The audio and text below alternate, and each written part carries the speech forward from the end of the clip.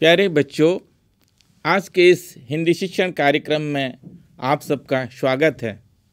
बच्चों, टीवी देख रहे हो? रामायण महाभारत तो ज़रूर देखे होंगे। रामायण में किसकी कहानी है?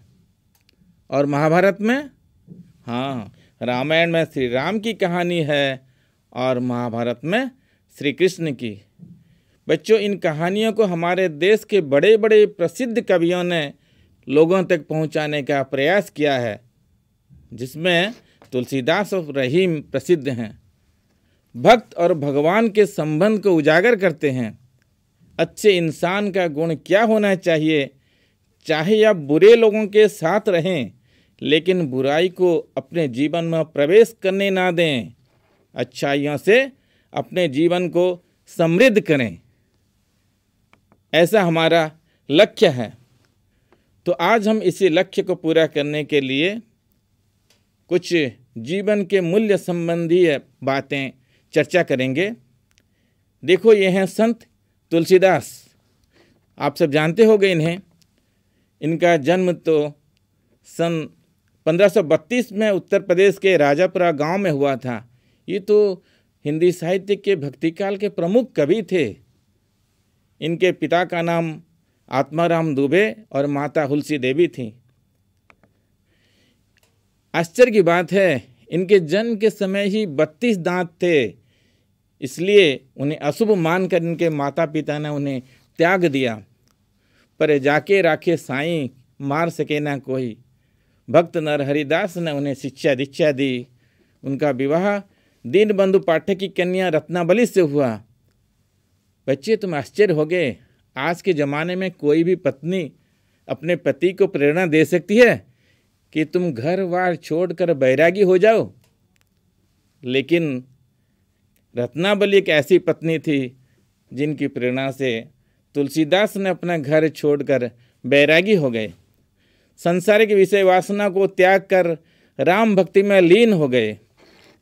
तुलसीदास जी ने रामचरित मानस लिखकर मानव समाज में अमर भक्ति का आदर्श प्रस्तुत किया। बच्चों, इतना ही नहीं, इन्होंने भक्ति के माध्यम से पूरे भारतवर्ष के सभी वर्गों के लोगों को एक सूत्र में लाने का प्रयास भी किया है।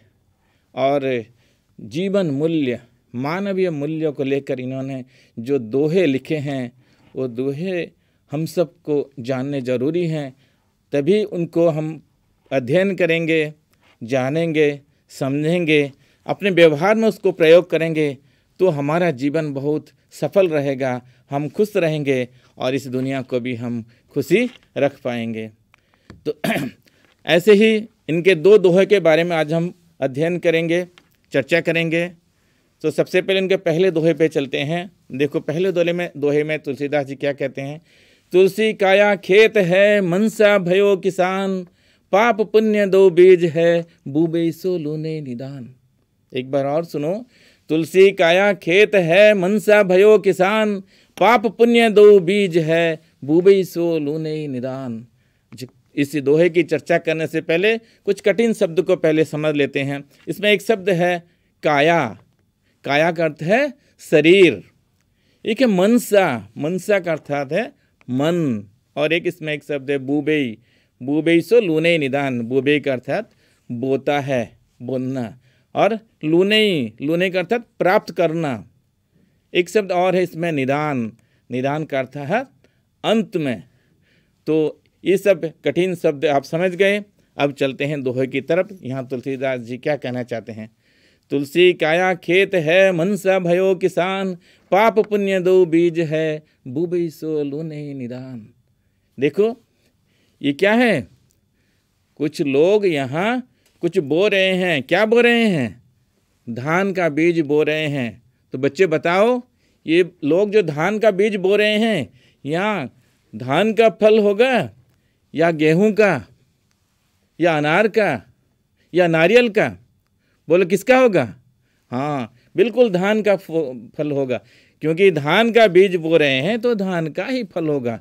वैसे ही हमारे जीवन में इसका प्रयोग, इसको उदाहरण दे करके कवि तुलसीदास जी ने इस दोहे को लिखा है। इस दोहे में वो समझा रहे हैं कि मनुष्य का शरीर एक सच्च क्षेत्र जैसे है सच्च क्षेत्र के समान है, जिसका किसान मन है। यहाँ पाप और पाप और पुण्य दो बीज हैं।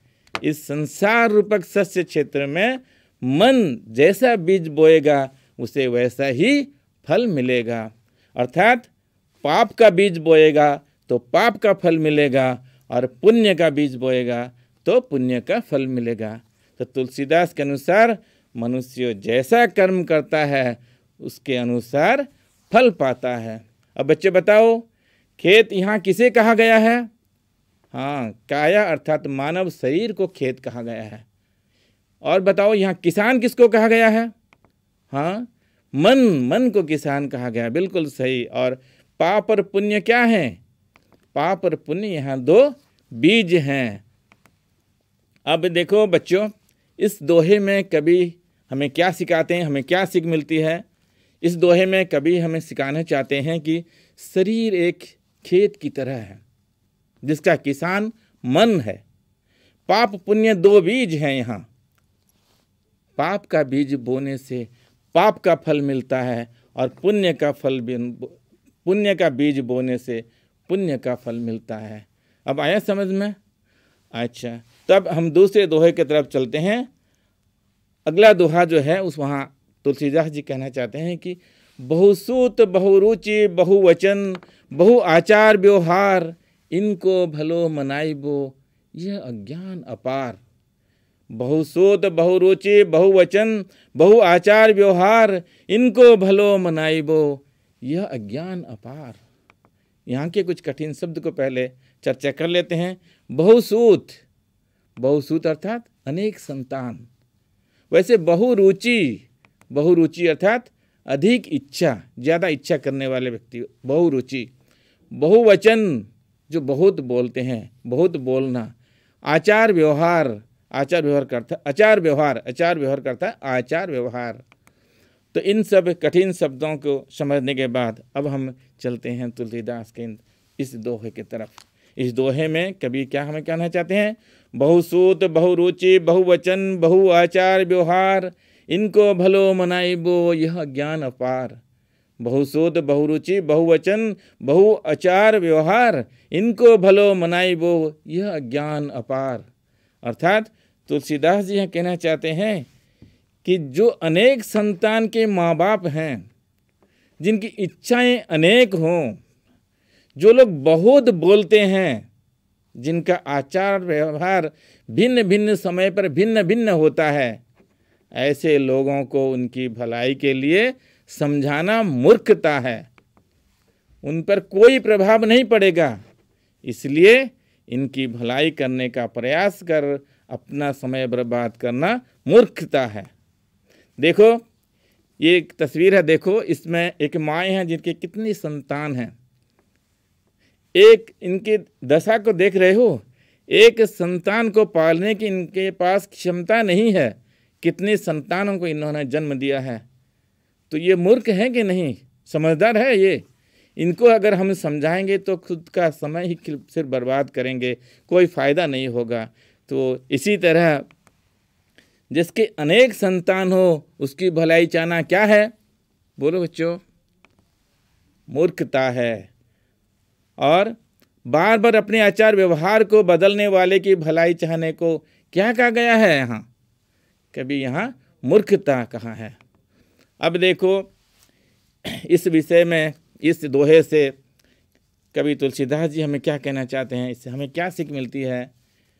कवि यहाँ कहना चाहते हैं कि जिनके अधिक संतान हैं, उन्हें समझाना व्यर्थ है। जिनकी इच्छाएँ अनेक हों, उन्हें भी समझाना व्यर्थ है। जो लोग बहुत बोलते हैं, उन्हें उनकी भलाई के लिए समझाना भी मूर्खता है। और जिनका आचार व्यवहार भिन्न भिन्न समय पर भिन्न भिन्न होता है, उनकी भलाई करने का प्रयास करना भी मूर्खता है। तो बच्चों, मुझे लगता है आप ये दोनों दोहों का अर्थ आशय समझ गए होंगे। अब परीक्षा पे जोगी कुछ प्रश्नोत्तर की चर्चा करना चाहूँगा आप सबके साथ, है ना? आप सब समझ गए हैं? अब चर्चा करें प्रश्नोत्तर के बारे में। ठीक है, आगे चलते हैं।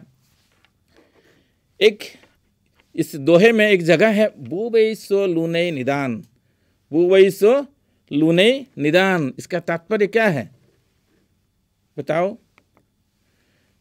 इसका तात्पर्य हाँ इसका तात्पर्य है, मनुष्य का शरीर एक सस्य क्षेत्र के समान है, जिसका किसान मन है और यहाँ पाप पुण्य दो बीज हैं।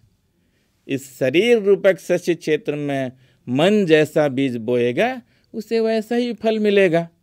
अर्थात पाप का बीज बोने से पाप का फल मिलेगा, पुण्य का बीज बोने से पुण्य का फल मिलेगा।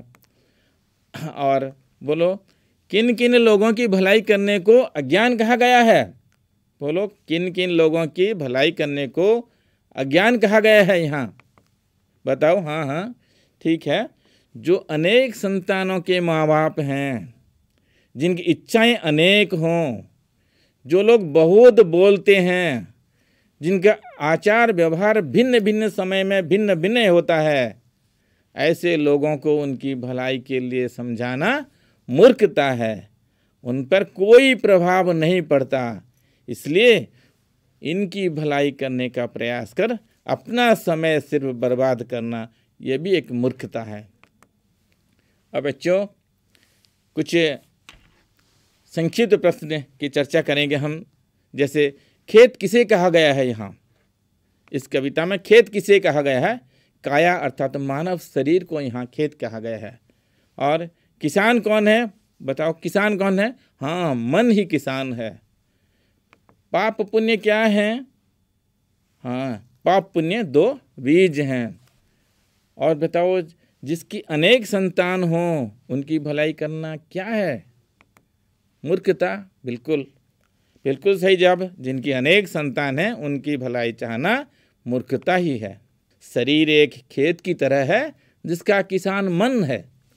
पाप और पुण्य दो बीज हैं।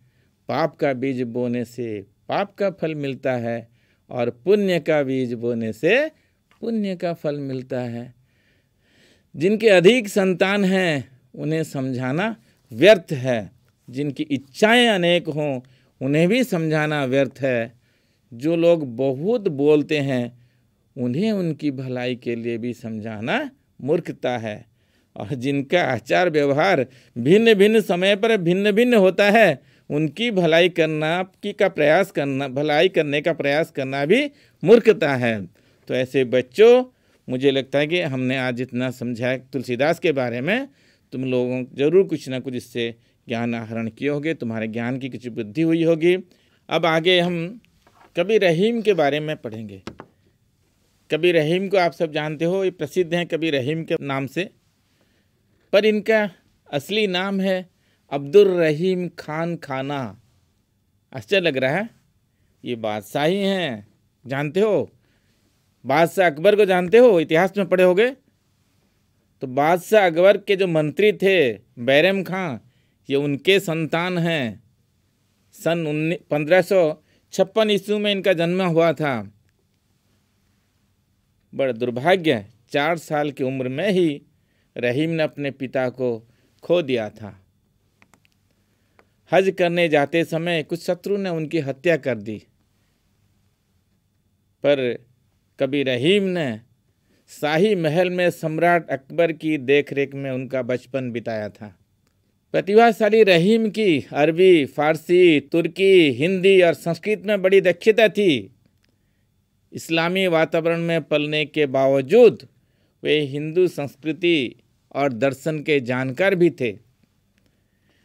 रहीम सत्सई, रास, पंचाध्यायी, रहीम विलास, रहीम रत्नावली आदि उनकी प्रमुख रचनाएँ हैं। ये दोहों के रचना के लिए काफ़ी प्रसिद्ध हैं। आज इनके दो दोहों का अब हम अध्ययन करेंगे, जो अतीब मर्मस्पर्शी हैं। और हमारे लिए इनको अध्ययन करना बहुत ही ज़रूरी है।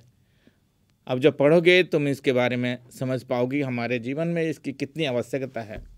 जो रही उत्तम प्रकृति का करी सकत कुसंग, चंदन विष व्यापत नहीं लपटे रहत भुजंग। कुछ कुछ तो समझ में आ रहा होगा। अब कुछ इसमें कठिन शब्द भी है, उसकी चर्चा कर लेते हैं तो तुम्हें समझने में और आसान होगी। देखो, एक शब्द इसमें है, जो रहीम उत्तम प्रकृति, उत्तम उत्तम अर्थात श्रेष्ठ। एक शब्द है प्रकृति, उत्तम प्रकृति। प्रकृति का अर्थ है गुण या स्वभाव। का करी सकत कुसंग का अर्थात क्या? और करी सकत करी सकत अर्थात कर सकता है। एक शब्द है क्या करी सकत कुसंग। कुसंग का अर्थ है बुरी संगति। लपटे लपटे का अर्थ है लिपटना। और अंत में एक शब्द है भुजंग। भुजंग का अर्थ जानते हो? सांप। भुजंग का अर्थ है सांप। अब तो थोड़ा बहुत समझ में आ गया होगा। देखो कभी क्या कहते हैं, जो रही उत्तम प्रकृति, का करी सकत कुसंग, चंदन विष व्यापत नहीं, रही, नहीं, लपटे रहत भुजंग। कभी यहाँ कहना चाहते हैं कि चंदन के पेड़ के साथ उत्तम गुण वाले व्यक्ति तथा सांप के साथ कुसंग की तुलना की गई है। रहीम कहते हैं कि जिस प्रकार चंदन वृक्ष पर जहरीले सांप लिपटे रहने पर भी चंदन वृक्ष पर सांप के जहर का कोई प्रभाव नहीं पड़ता। जहर चंदन वृक्ष पर नहीं फैलता है। उसी प्रकार जो व्यक्ति उत्तम स्वभाव वाला है और अच्छे गुण वाला होता है, उस पर कुसंगति का कोई प्रभाव नहीं पड़ता। देखो एक चंदन का वृक्ष है, इसमें एक जहरीला सांप लिपटा हुआ है। तो क्या चंदन वृक्ष पर इस सांप का जहर फैल पाएगा? बिल्कुल नहीं फैल पाएगा। बल्कि एक ये हो सकता है कि चंदन का सुगंध इस सांप के शरीर पे फैल सकता है। और चंदन के सुगंध के वजह से कुछ समय के लिए सांप का शरीर भी सुगंधित हो सकता है, यही हो सकता है। लेकिन ये सांप का जहर कभी भी उसे चंदन के वृक्ष पे नहीं फैल सकता। उसी प्रकार बुरे लोगों के साथ रहने पर भी वह बुरे गुणों को नहीं अपनाता और वह अपने अच्छे गुणों को कभी नहीं छोड़ता, जो अच्छे गुण वाला है। अर्थात चंदन वृक्ष जैसे उत्तम गुण संपन्न सज्जन का सांप जैसे दुर्जना की तुलना, दुर्जना की कुसंगति में रहने पर भी उस पर विष जैसा गुण का कोई प्रभाव नहीं पड़ता। अब देखो, बच्चों, किस पर कुसंग का प्रभाव नहीं पड़ता? है यहाँ कभी ने कहा ना, किस पर कुसंग का प्रभाव नहीं पड़ता? है हाँ उत्तम स्वभाव वाले व्यक्ति पर या सज्जन पर कुसंग का प्रभाव नहीं होता है। चंदन वृक्ष पर कौन लिपटा रहता है? बताओ। हाँ भुजंग यानी कि सांप लिपटा रहता है। और किस पर सांप के विष का प्रभाव नहीं होता? बोलो। हाँ चंदन वृक्ष पर विष का प्रभाव नहीं होता। और सांप के साथ किसकी तुलना की गई है यहाँ? दुर्जन की या कुसंग की तुलना की गई है। अब देखो बच्चों समझ में आ गया? कभी यहाँ क्या कहना चाहते हैं? कभी का आशय है कि उत्तम स्वभाव के व्यक्ति पर कुसंग प्रभाव नहीं पड़ता है। जहरीला सांप चंदन वृक्ष पर लपटे रहने पर भी उसका जहर चंदन वृक्ष पर नहीं फैलता और उत्तम प्रकृति वाले व्यक्ति बुरे गुणों को नहीं अपनाते हैं और अच्छे गुणों को भी नहीं त्यागते हैं, नहीं छोड़ते हैं। आया समझ में? अब इनके और एक दोहे के तरफ़ चलते हैं। दूसरा दोहा इनका जो है, दूसरे दोहे में कभी कहते हैं कि, कही रहीम संपत्ति सगे बनत बहुत बहुरीत, विपत्ति कसोटी जे कसे तेई सांचे मीत।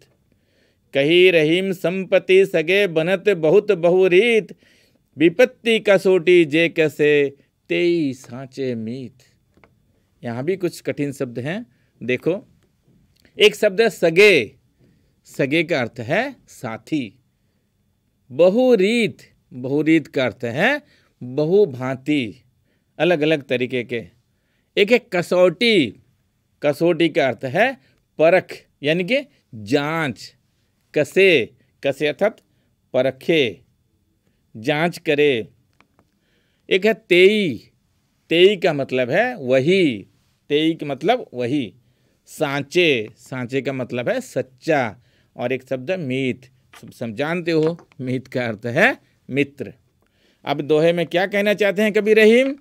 कभी रहीम यहाँ कहना चाहते हैं कि, कही रहीम संपत्ति सगे बनत बहुत बहु रीत। विपत्ति कसोटी जे कसे, तेई सांचे मीत। इस संसार में कभी कहना चाहते हैं कि इस संसार में अधिकतर लोग धन दौलत के साथी होते हैं। आप सब जानते हो, आज का दुनिया ही ऐसा है यहाँ सब लोग धन दौलत के साथी होते हैं। जिसके पास धन दौलत होती है ना, लोग उससे मित्रता स्थापित करने विविध ढंग से आ जाते हैं। लेकिन इनमें से कौन सच्चा मित्र है और कौन कौन सच्चा मित्र नहीं है, उसकी पहचान विपत्ति के समय ही हो जाती है। जो व्यक्ति मित्र के विपत्ति के समय साथ नहीं छोड़ता और उसकी सहायता करता है, वही सच्चा मित्र है। जैसे सोने को कसोटी पत्थर पर घिस कर परखा जाता है, उसी प्रकार विपत्ति के समय सच्चे मित्र की परख ही हो जाती है। अब समझ आए बच्चों? अब बताओ तो इस संसार में अधिकतर लोग कैसे होते हैं? हाँ धन दौलत के साथी होते हैं। क्या धन दौलत के प्यारे लोग मित्र के विपत्ति के समय साथ रहते हैं? बिल्कुल नहीं। जो धन दौलत के प्यारे लोग हैं, वो मित्र के विपत्ति के समय साथ नहीं रहते हैं। और बताओ, जो मित्र के विपत्ति के समय साथ रहता है, उसकी सहायता करता है, उसे क्या कहते हैं? हाँ बिल्कुल सही। सच्चा मित्र। अब सच्चा मित्र कौन होता है? जो दुर्जन में भी दुर्दिन में भी साथ न छोड़े वही सच्चा मित्र होता है। अच्छा बच्चों, इस दोहे को थोड़ा सा हमें संक्षेप में समझ लें कि संसार में धन दौलत के साथ अनेक होते हैं। कभी कहना चाहते हैं कि इस संसार में धन दौलत के साथी अनेक होते हैं। जिसके पास धन दौलत होती है, उसके साथ सब मित्रता स्थापित करते हैं।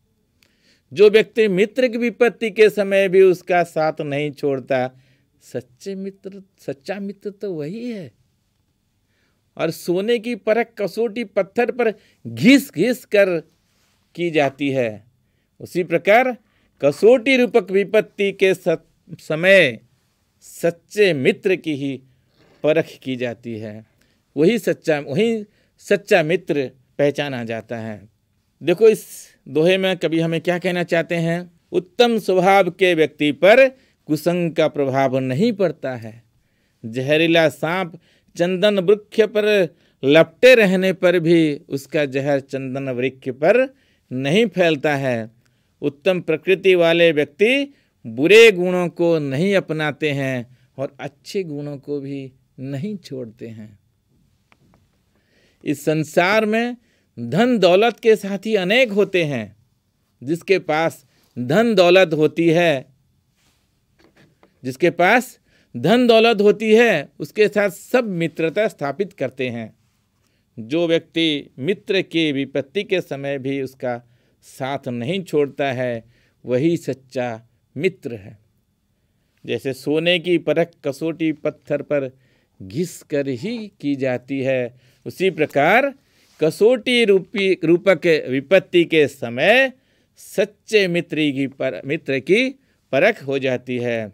अब बच्चों, मुझे लगता है कि मैंने आज जो तुम लोगों को पढ़ाया, ये तुम्हारे जीवन के लिए, जीवन को सुख बनाने के लिए, जीवन को आसान बनाने के लिए और इस दुनिया को सुखमय बनाने के लिए काम आएँगे। अगर तुम इन्हें अपने जीवन में अपनाओ, इसको गौर से समझो और अपने जीवन में इसको प्रयोग करो, तभी तुम भी सुखी बन पाओगे। आप सबके शुभकामना करते हुए अगले पाठ्यक्रम तक इंतज़ार करते हैं। धन्यवाद।